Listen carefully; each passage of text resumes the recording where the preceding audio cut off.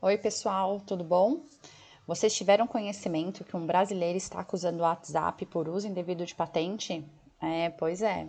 Para quem ainda não me conhece, meu nome é Vanessa Albuquerque, eu sou advogada, atuo na área também de propriedade industrial e hoje eu vim divulgar aí uma notícia para vocês, que na verdade saiu publicado em um portal chamado Mobile Time. E eu achei curioso porque isso é o dia a dia de muitos que nos procuram para falar sobre software, metodologia, direito autor, que é o direito autoral, ou podendo ser ou não, e patente. E aí eu quis trazer isso, essa pesquisa saiu agora, essa notícia saiu agora em março, tá? O nosso brasileiro, né, o Paulo Chester Pellegrini, ele está acusando a Meta, que é o ex-Facebook, né, e o WhatsApp de terem roubado uma patente dele, que ele criou uma API para o WhatsApp Business, que foi lançado em 2018 pelo, pelo Facebook ou pela Meta tá? Ele diz que ele teve contato com o pessoal, ele enviou para o WhatsApp, né? Ele criou essa API aqui de 2008 a 2015 e ela, ele o batizou com uma outra marca, né? Até porque o WhatsApp, o WhatsApp é de uso exclusivo aí do Facebook, atualmente da Meta, como Gal Now App. Acredito que seja assim que se pronuncia. E ele fala que ele ofereceu por meio de uma mensagem enviada para a equipe em 2016.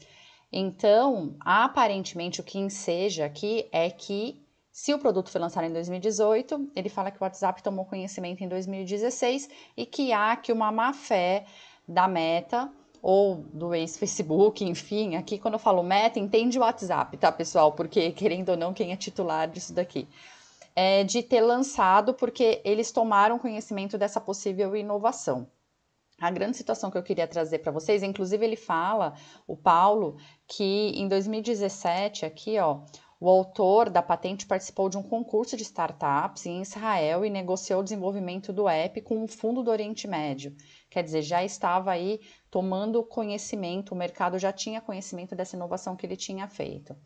E aqui vem as dicas, né, que eu gosto sempre de dar para vocês. Inclusive, vou deixar disponibilizado esse link, porque tem algumas, algumas considerações, o, o que os técnicos falam referente à patente, é, qual é a linha de defesa, o documento que ele anexou, falando que existe a situação se é o documento, não é que é veraz, mas se é o documento que realmente poderia ter sido anexado ou não, tá? E aí vem os advogados deles que estão defendendo, mas o processo ainda está em trâmite aí no Tribunal é, de Justiça de São Paulo, tá?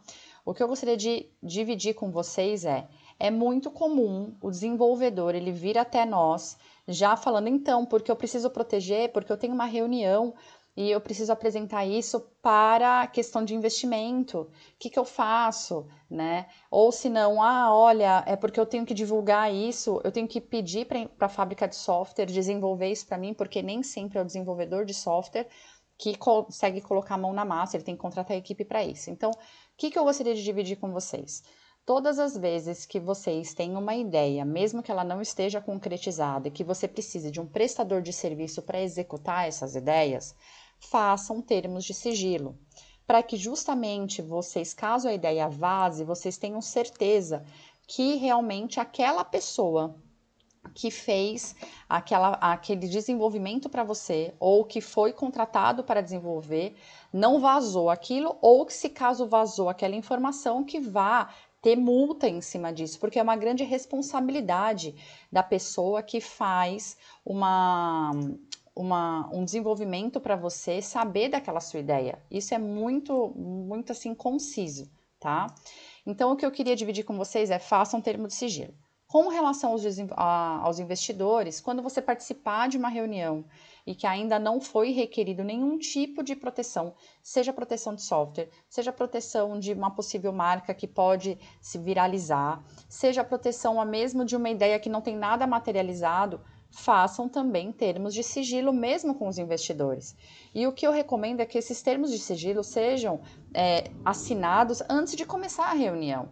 Você vai apresentar para um investidor e falar: olha, eu tenho uma, uma situação que eu acredito ser inovadora, eu vou passar aqui um termo de sigilo, vocês preenchem com seus dados pessoais.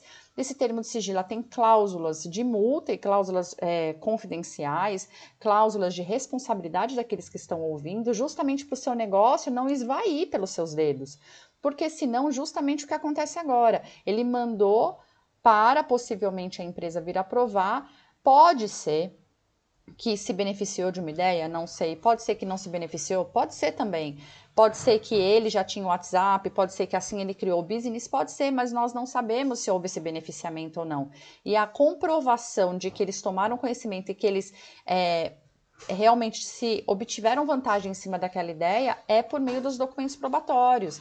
No judicial, a gente tem que se valer desses documentos probatórios. Então, eu queria é, compartilhar com vocês essa situação, justamente para que vocês possam se precaver. Isso é muito comum. As, você, nós brasileiros temos ótimas ideias, nós temos desenvolvedores maravilhosos, mas realmente às vezes não ganha-se o tanto quanto poderia se ganhar, justamente por algumas faltas de procedimentos que aparentemente para quem desenvolve é super burocrático, mas é a única forma realmente de resguardar o direito de vocês. Então, se vocês conhecem algum, algum desenvolvedor, alguma fábrica de software, alguns gênios que podem ouvir isso daqui, divulguem, sabe? Contem com a nossa equipe aí para estar tá auxiliando. Eu procure um advogado de confiança para que sempre auxilie e para que vocês não percam esse direito. Nós utilizamos uma frase no direito que o direito não protege quem dorme. Então vão atrás dos direitos antes de divulgar.